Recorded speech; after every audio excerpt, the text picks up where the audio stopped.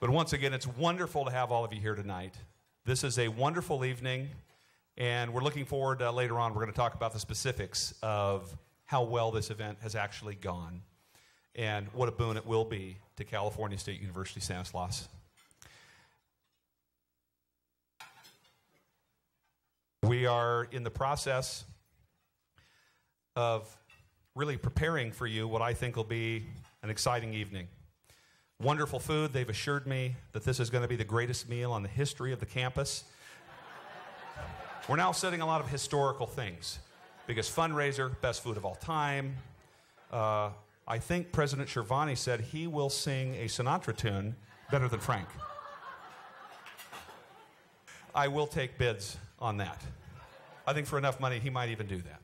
So uh, it, it's just, it's been great. It's, you know, I, I look back at, at, you know, as we talked about this as a board, when we said this is what we're going to do, we know it's going to be interesting. There's going to be people on all sides. But it's obviously well beyond what we would have expected. But you know what? You sure can't beat the advertising we got. All right? Thank you. Thank you so much. So at this time, I would like to welcome Governor of Alaska, Sarah Palin. Ladies and gentlemen, here she comes. I'd also like to introduce President Ham Shirvani of California State University, Stanislaus.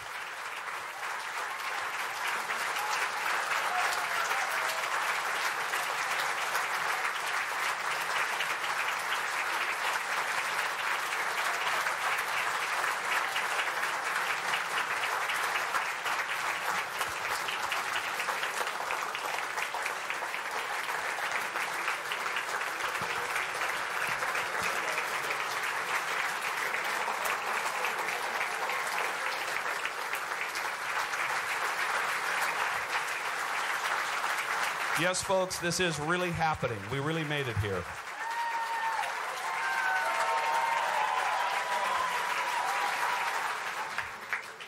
And I would be remiss if I didn't introduce the governor's lovely daughter, Willow, who made the trip with her.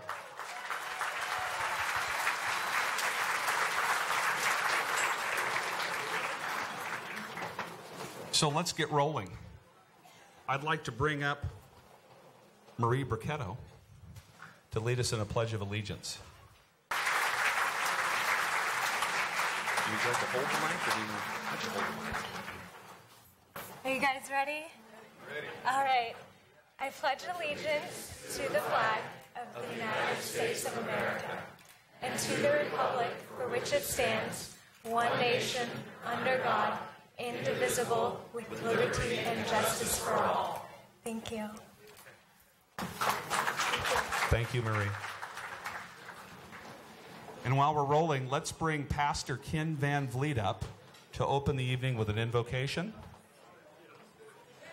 Pastor Ken from Monte Vista Chapel, right down the street. Take it away. Let's go ahead and go to the Lord in prayer. Father God, as we gather together this evening to celebrate the 50th anniversary of California State University Stanislaus, we are grateful for the freedoms afforded to us that both allow and encourage the pursuit of higher education.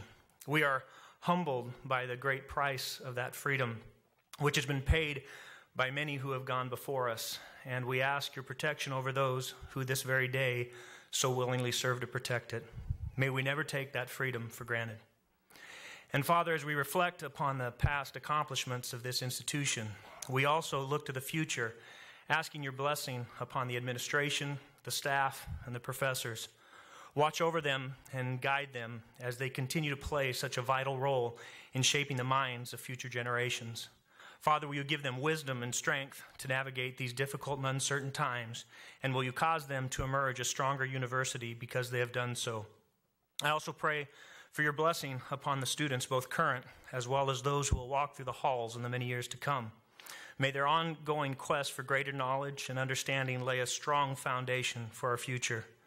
Will you use this university not only to grow their minds, but to strengthen their character and develop virtue, so that which has been learned will be used not only for personal advancement, but for the betterment of our community, our nation, and our world.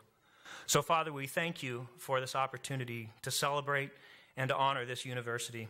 Bless those who have worked so hard to make this event possible. Thank you for our guest speaker, Governor Palin, and we ask a special blessing upon her tonight. And finally, Father, we pray that everything that is said and done this evening be pleasing in your sight. I ask these things in Jesus' name. Amen. Thank you, Pastor.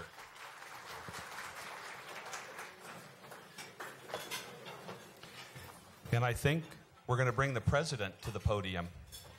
We're going to bring our wonderful leader and my good friend, Ham Shirvani, to the front to really kick this thing off officially.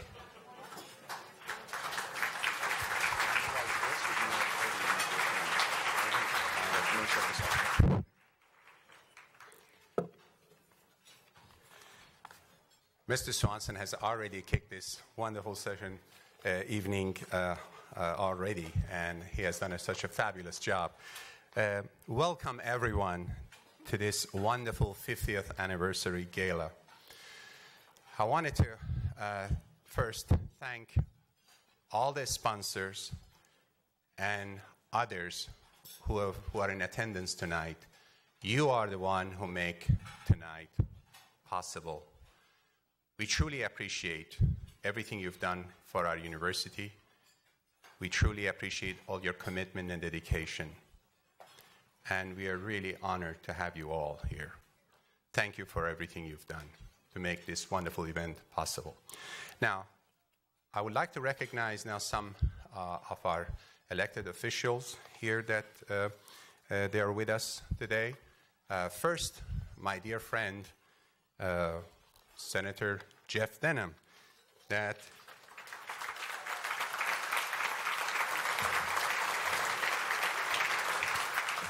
Of course, I like to call him our Congressman Jeff Denham.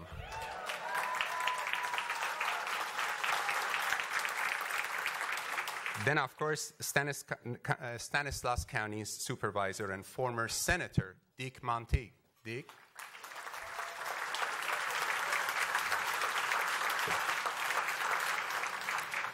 And again, another one of my friends, Stennis County Supervisor Vito Chiesa. Where, it's right there. Last, Modesto City Council member Kristin Olsen. Pretty soon, Assemblywoman Kristin Olsen.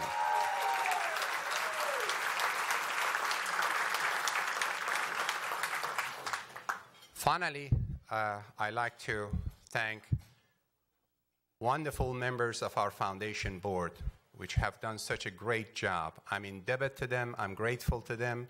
Without California State University Stanislaus Foundation, we wouldn't have been where we are. We wouldn't have been where we are today. We are, we are a completely different university. We have transformed through levels and levels higher than we have been only because of the help and support of the California State University Stanislaus Foundation members. Would they please rise and be recognized? Please, Foundation Board members.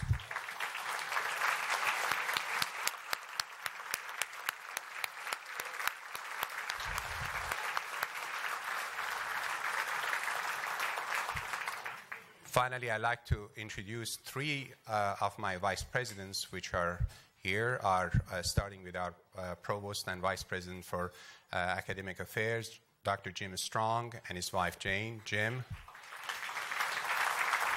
And our great vice president for business and finance, uh, and that is Ross Giambelluca and Pat Giambelluca. And and of course our vice president for advancement, which is responsible for this event, Vice President uh, Susanna Gajic-Bruyea and Jeff Bruyea. So we're going to leave you for a minute, enjoy your dinner, and uh, we're going to come back. Please, thank you.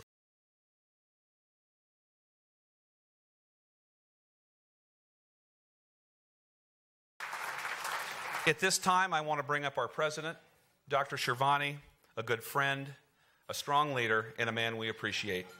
A man whose board recently has voted or has passed a unanimous resolution in support of him in his work at this university. He works tirelessly, and he was courageous enough to stand behind us the whole way as we worked and got this thing done so that we could be here tonight for our students and our faculty and our staff and this university in total. Thank you again, and Dr. Shirvani, please come up.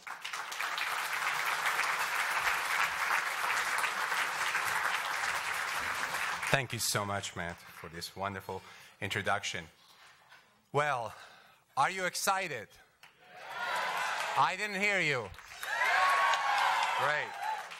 Now, this is the time, this is the time and the moment we've all been waiting for. Let's give a warm and enthusiastic welcome to the Honorable Sarah Palin.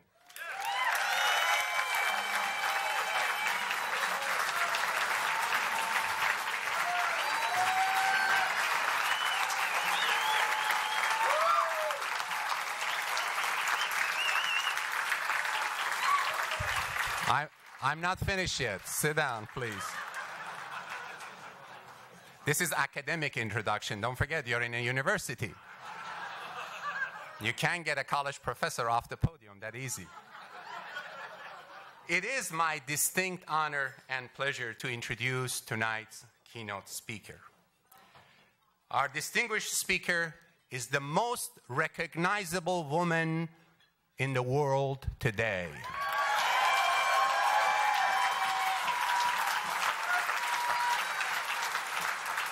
She is the most elegant stateswoman, and according to Time magazine, one of the top 100 most influential people in the world.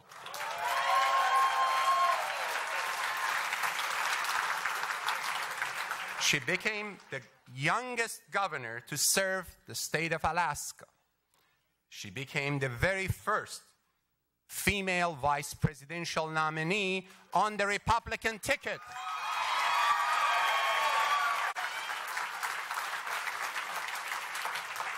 A loving and dedicated mother of five children.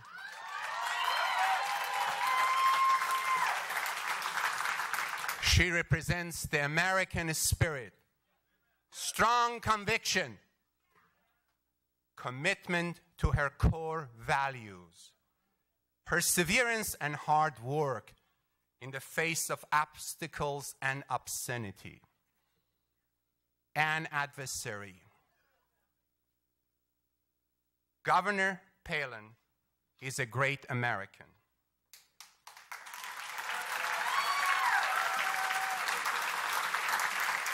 An accomplished political leader a courageous public servant who is passionate in her love for preserving the constitutional right and freedom in America.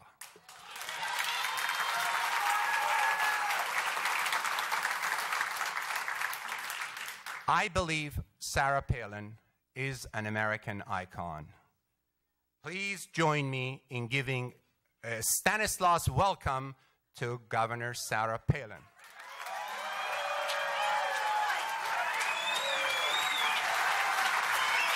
Thank you so much. Thank you.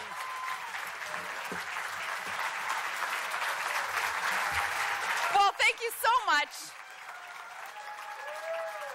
Oh, I so appreciate that warm introduction and tell you what, you are a bold man. You are a bold man. Um, I am so to be here. And before we get started, let me just get through some logistics really quickly. First, um, I've got my water. Do I have my straws? I want my straws. And I want them bent, please. Thank you. At least that's what I read in some of the lamestream media outlets is that uh, I was demanding straws or some ridiculous thing. So I, am just so glad that, oh, we got some of those con- contractual demands out of the way and finally settled. I think, though, that my Speaker's Bureau Washington Speakers Bureau, I think that this was one of the toughest contracts I think that they ever ended up getting to sign. Um, they found that to be one tough event to sort out because it seemed to them that they were negotiating with the entire state of California. And here, you know, the rest of us looking in and, and, kind of following what was going on with some of the shenanigans, it looked like, ah, Jerry Brown and friends, come on, this is California. Do you not have anything else to do? Goodness gracious.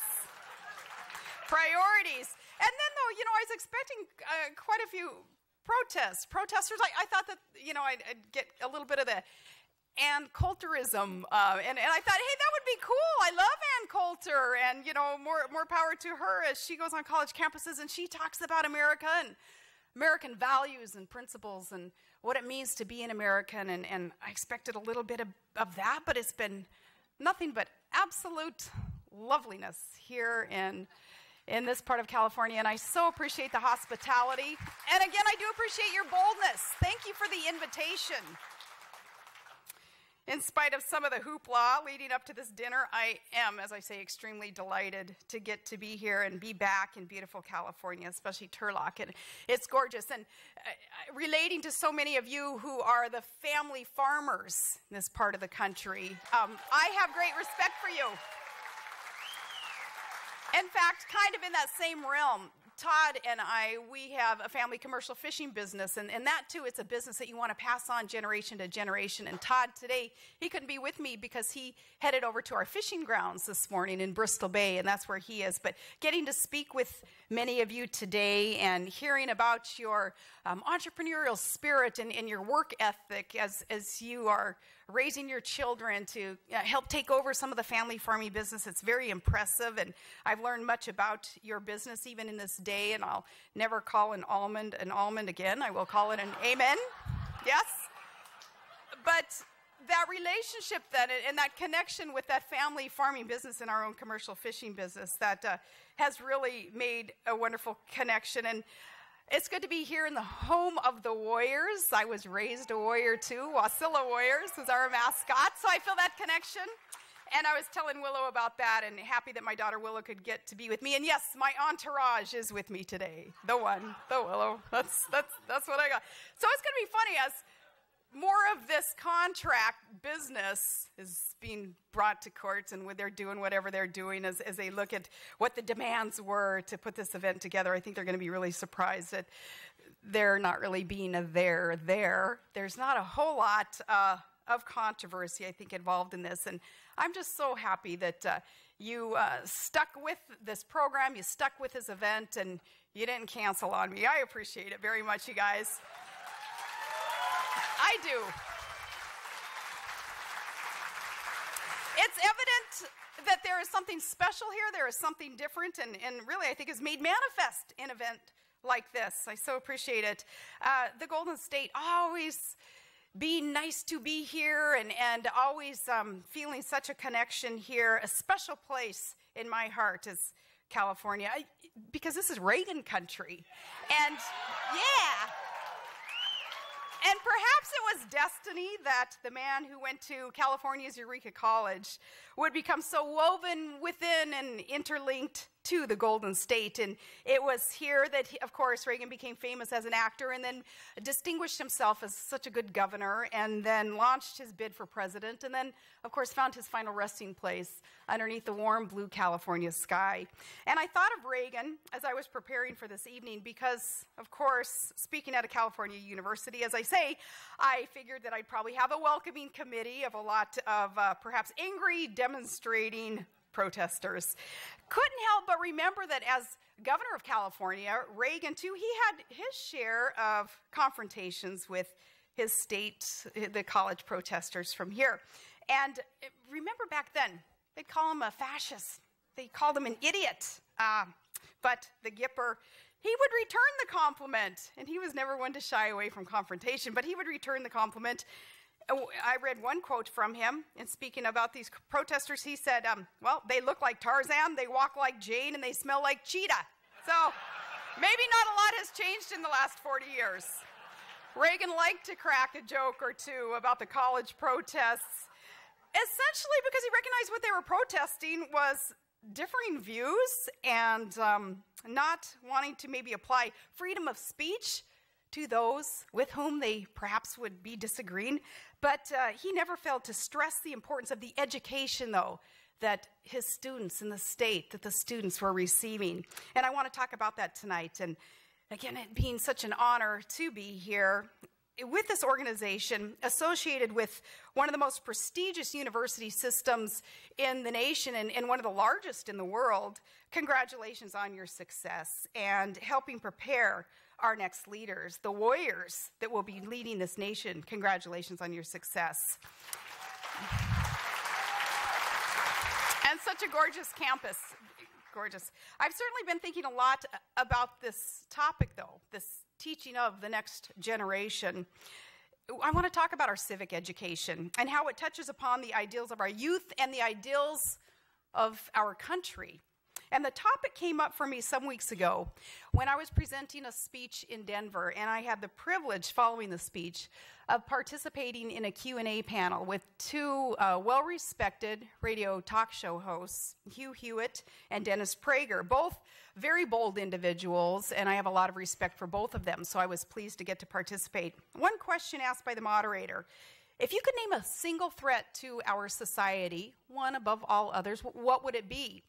And Dennis Prager was the first to answer this question. Now, he could have chosen any number of important life or death threats to our country and our culture. He could have said, greatest threat is our exploding national debt and the record setting deficits because this is where we're going is we're putting our country on a path towards insolvency and, and that's immoral it's unethical it's wrong it's a generational theft because we're stealing opportunity from our children as we incur these great debts and we will be an insolvent country if we continue down this road.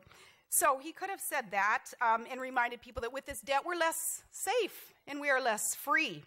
Or he could have said that the growing threat to our energy security is the number one threat because Washington and it seems our president doesn't understand the inherent link between domestic energy production and our own prosperity, or energy and our freedom, energy and our security. There seems to be that missing link there in Washington, not understanding. Or he could have said the international terrorism's attempt to destroy us, both at home and abroad, or to destroy our allies an, a consistent, strong ally like Israel, a threat to that country. Could have mentioned that. But instead, Prager looked beyond these immediate threats and he focused on something that would affect us all forevermore in a longer term sense. His biggest fear, he said, is that we're not passing on what it means to be an American to this new generation. And I agreed with his concerns, but I offered a caveat when it was my turn to respond. I had to ask then, recognizing that, yeah, we're not doing as well as we could, passing on what it means to be an American to the next generation. But then, how could it be if we're not teaching the next generation what it means to be free and how important it is to be free? How then can it be that we have America's finest with our thousands and thousands of young men and women who are choosing as patriots, my own teenage son being one of them, having chosen, though never having tasted anything but freedom, to join our United States military, just kind of inherently knowing how important it is to fight for freedom and to protect our Constitution, to know that America is worth defending. They enlist then voluntarily in our U.S. military to defend freedom.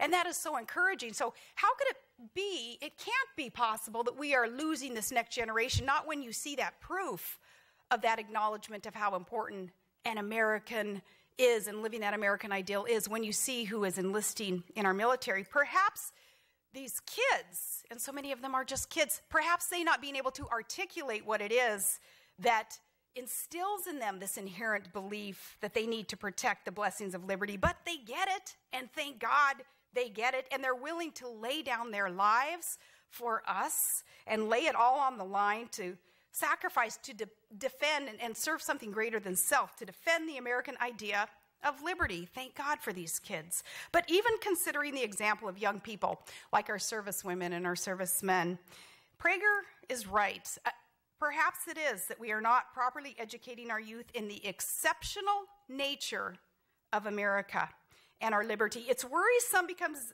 because this belief in American exceptionalism is something that every new generation has to make its own if we expect our republic and our liberties to be secure and to live on.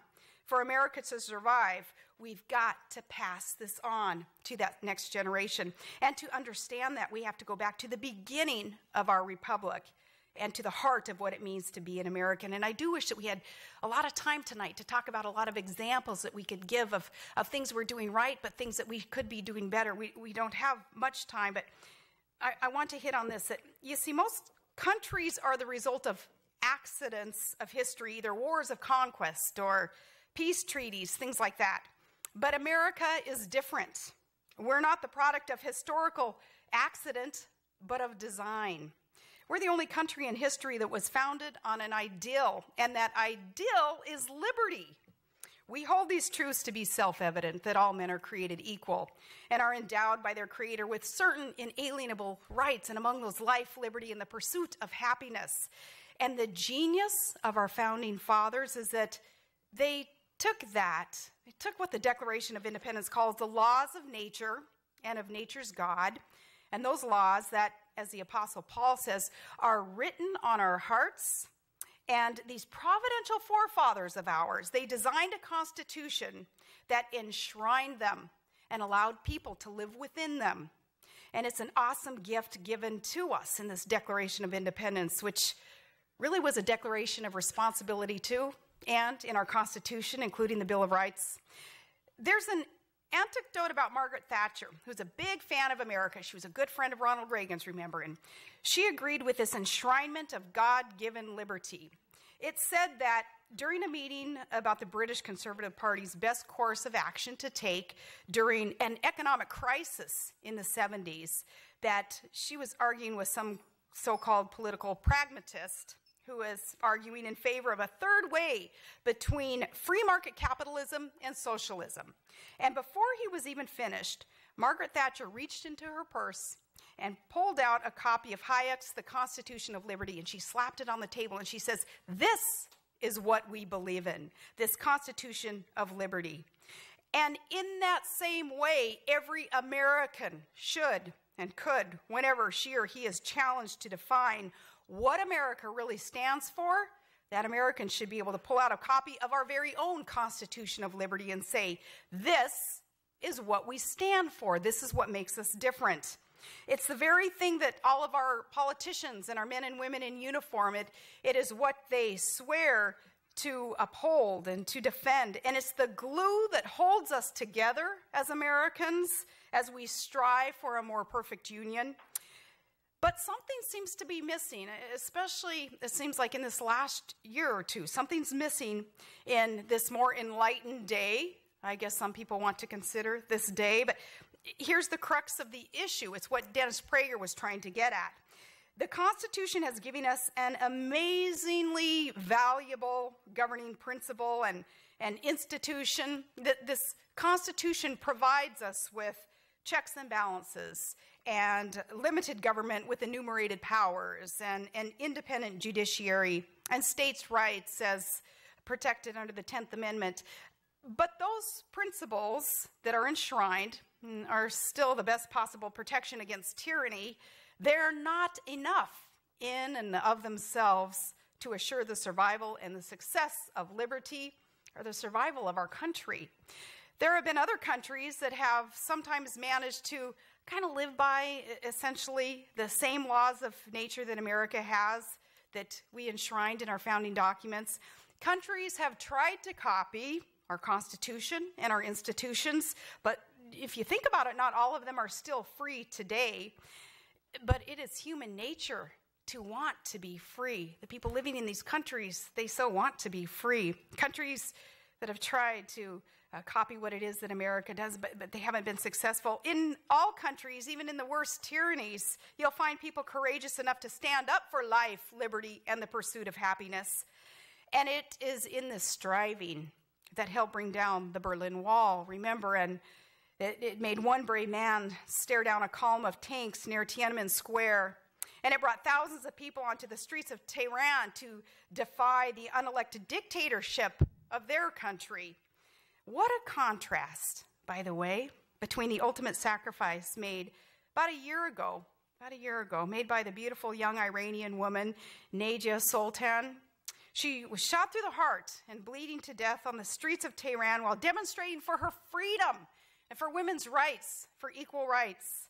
What a contrast between her and the students, or the political operatives anyway, maybe not students necessarily, here, who spent their valuable, precious time diving through dumpsters before this event in order to silence someone with whom they prejudicially thought that maybe they would disagree with. What a waste of resource.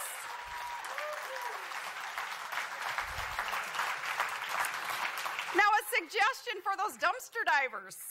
Instead of trying to tell people to sit down and shut up, maybe you tell, spend some time telling people like our president to finally stand up and speak out for those like Neda, her, as she sought her freedom. She was willing to die for it and to speak about perhaps the brutal, brutal suppression of Iran's green movement and may it become a green revolution. Uh, uh, students and political operatives who have been part of the controversy of this event tonight, goodness gracious, you have a chance to hold America's leadership to the high ideals of which this country was founded.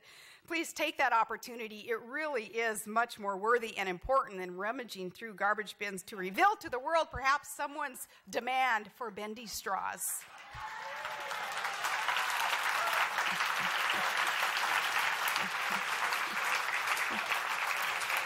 Speaking to a couple of new friends that I made on this day have come from Iran, as a matter of fact, uh, they have reminded me of America's opportunity to export our democracy in such a good way. Mm, that is so encouraging. It's so inspiring to me to keep up the good fight. But okay, back to the point though, as inspiring as these revolutions are, that these aforementioned um, revolutions, uh, and as hopeful as the efforts at emulating our successful Constitution may be, in the end, we can learn as much, though, from the failed attempts at copying our institutions as from the successful ones.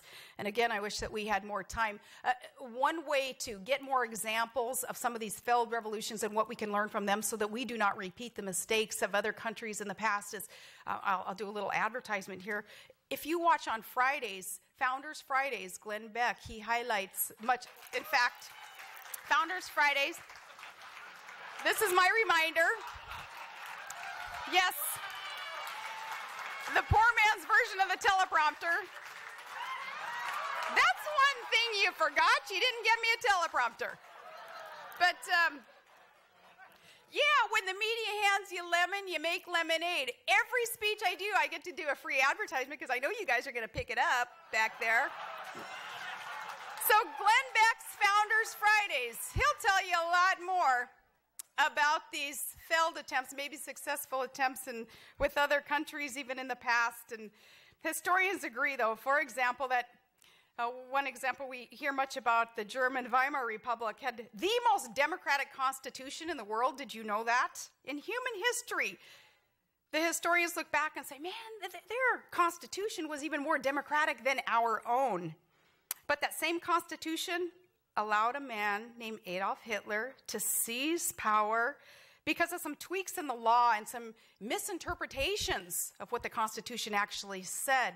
It allowed, it allowed then Adolf Hitler to seize power and plunge the world into a nightmare period of chaos and war and genocidal murder. These failures, like that one, show us that freedom doesn't just depend on institutional guarantees or words written on a document. It is also, and above all, a question of culture. And here's where the university system comes in. To most Americans, freedom isn't just an ideal or words written on a charter of liberty, it is a way of life for most of us. And it's in our lively public debates, which give us opportunity to exercise our constitutional rights to free speech, even. And it's in our free markets, which give everyone with an idea and with a willingness to work hard, to really work hard, to make something of themselves in this country. And it's in our voluntary associations and our culture of most generous, voluntary, charitable giving. When we see someone having troubles, for instance, our instinctive response for most of us, it's not, well, what's the government going to do about it? No, our response is, what can I do to help? How can I jump in there and help? It's this love of freedom and the moral capital that's generated through these free markets and these free associations that has helped keep our great Republican experiment alive for more than 200 years now. So when we see Washington strain from those ideals and the free market uh, system that has built America into the strongest, the strongest, most generous country on earth, it, it's why we know we're on the wrong path right now and we have to turn some things around. America may be founded by laws, see, but it's sustained by a morality that's recognized by so many other countries, even. As the French writer Alexis de, Co- de Tocqueville said, America is a great country because America is a good country. And Dennis Prager's point that night in Denver was that this uniquely American culture of freedom, it needs protecting and nurturing, and it needs to be carefully handed over from one generation to the next. And Reagan used to speak of this too. So, schools, the universities need to take note of this message. I, I, wish it's, it's where education does come in. President Kennedy once spoke of the survival and success of liberty. Well, there can be no survival and success of liberty without an education in freedom and the values that made this country great. Values like thrift and perseverance and responsibility and work ethic, reward for, hard, for honest hard work. And some might say that there is a contradiction here, perhaps. They'd argue that academic freedom is incompatible with our need for a civic education that instills in young people the wisdom and the patriotic grace necessary for the survival and the success of liberty. But I think that they are wrong. I think that they are dangerously wrong. The fact that we allow or should allow for a healthy and free academic debate of all ideas doesn't mean that we have to believe that all ideas are equally valid. Unfortunately, too often that turns into just one small step away from claiming that, well, there just isn't just one right answer to the question what is right, what is good, or just, or true, to saying that, well, there are no right answers to these questions. There's, that's where relativism comes into play, and that turns into nihilism. And then we find people saying, well, then nothing is truth. Therefore, anything goes. Just, just do it. Everything's permitted. There's no truth. If this cultural relativism is confined merely to a few individuals, the exceptions to the norm, well, that's one thing. But we have seen before what happens when whole sections of society fall into that trap. Take note of this. Uh, consider that would the brutality of communism have lasted as long as it did if there hadn't been a large group of people here in the West who were willing to essentially accommodate it for fear of daring to even condemn it? For a long time, folks, it was kind of consider, uh, considered sophisticated to take a position somewhere between freedom and communism. And it took a supposedly unsophisticated graduate from lowly Eureka College to bring communism to its knees. And he did it by simply calling an evil empire what it was evil. There's an important lesson here for us today. A free republic can only survive if its citizens are willing and able to defend it ideologically and to stand up for its founding principles. And there's an old conservative joke. It, it, it says that an elite liberal is someone who is so broad minded that they can't even take their own side in an argument. I think that could apply to some of the college professors, and I, I, I've met. So, but, you know,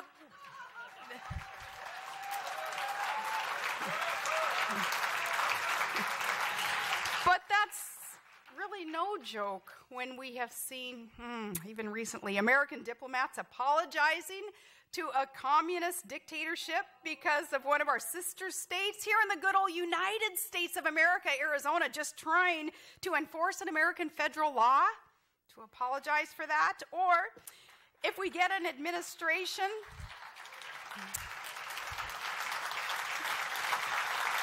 If we get an administration that unilaterally tries to end a war on terror, not by winning it, but instead by no longer referring it referring to it as a war on terror, as if the evil terrorists will stop attacking us once we proclaim that we just won't call it terrorists or terrorism anymore. That's not how we're going to win this thing.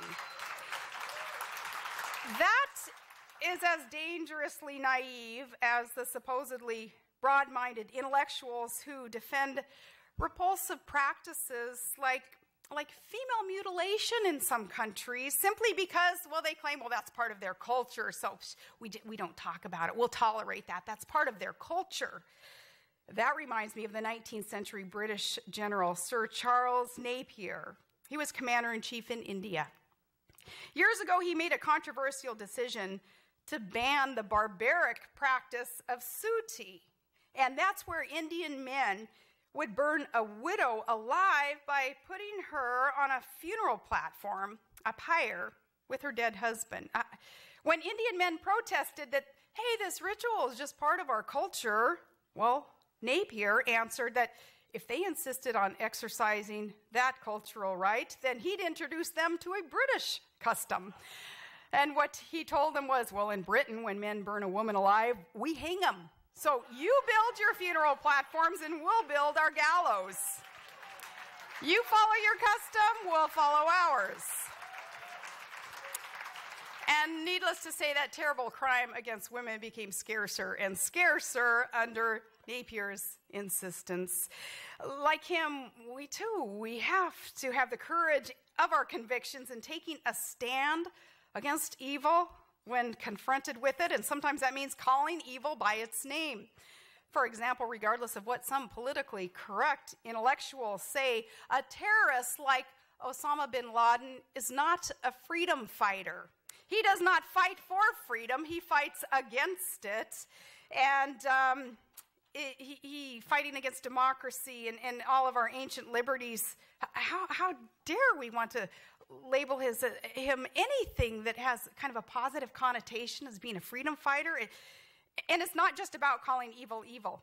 It's not just about being against something, but it is being for something right. It's about being unashamed to defend what is good about our culture and in our country. Not thinking that we must apologize for what America stands for, but we must honor our belief in the fundamental rights and the dignity of every innocent human being. And we must celebrate our relentless, sunny optimism. Remember, that's what Reagan was known for. That had to have come from California, that sunny optimism. And and that pioneering spirit that built this country, it inspired us to cross oceans and carve out a life in the wilderness and by the sweat of our brow to create and contribute and to build a better life in America. We must embrace our entrepreneurial drive to build and to produce and, and to innovate and allow America to remain the world standard bearer for excellence. And we must affirm our willingness to stand up for people across the globe who are yearning to be free. They look to us we are that beacon of hope for what it means to be free.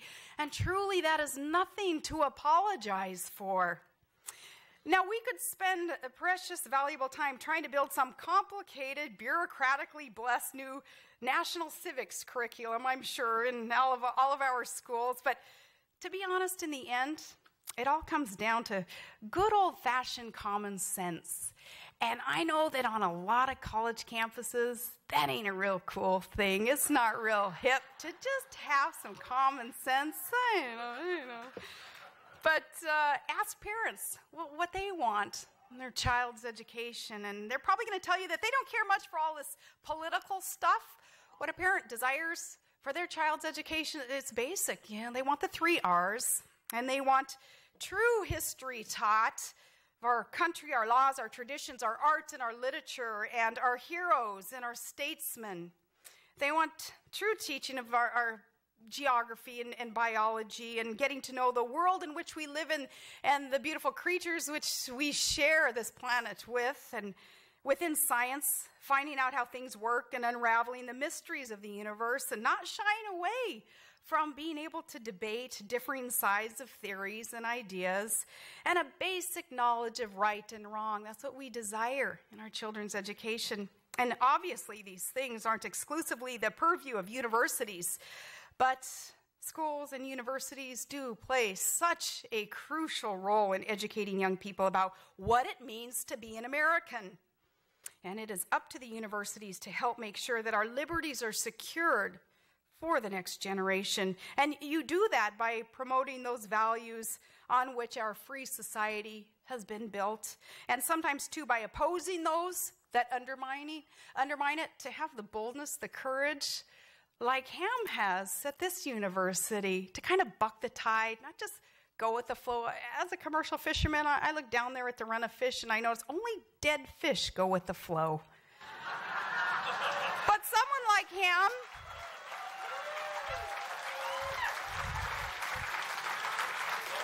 just going along to get along, but not being afraid to kind of shake it up and, and to allow that debate of different sides of issues. That's what's valuable here on this campus. Politicians have to do their part too by ensuring the survival of the institutions on which our free society is built. One can't do one without the other. President Kennedy said, Liberty without learning is always in peril, and learning without liberty is always in vain. From Valley Forge to Gettysburg to Omaha Beach, the fate of America has always kind of skirted a, a, precipice. But most of us, we never doubt that it's been a providential hand that has guided us and is guiding us towards a better future. Education's highest aim should be instilling in students a sense of this uniquely American predicament, of the fragility of it, as well as the greatness of this Republican experiment of ours, and an awareness that the survival and the success of liberty depends on them.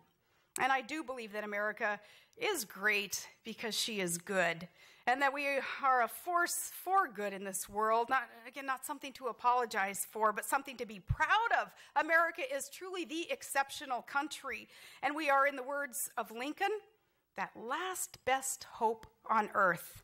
And if we do it right, we remain, in the words of the Golden State's Ronald Reagan, this shining city on a hill where the abiding alternative to tyranny. So let us help our young people understand this. Let's teach the next generation what it means to be American. And you are so on the right track here at CSU. So God bless you. Thank you for being part of the solution. God bless you, and God bless America.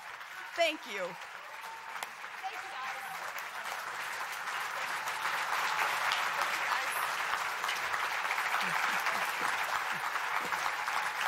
Thank you very much. Thank you, guys.